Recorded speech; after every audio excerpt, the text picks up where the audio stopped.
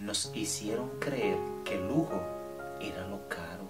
¡Qué tontería! Positivo, siempre positivo. Que era lo raro, lo exclusivo, lo inalcanzable.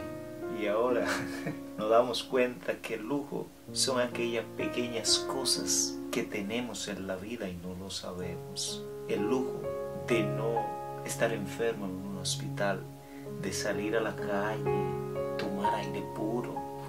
con familiares, con los amigos, echarnos de carcajadas, los abrazos y los besos.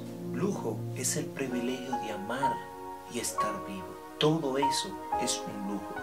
Lujo es la presencia del omnipotente en nuestras vidas y que vivimos bajo su gracia. Eso es un lujo. Positivo, siempre positivo.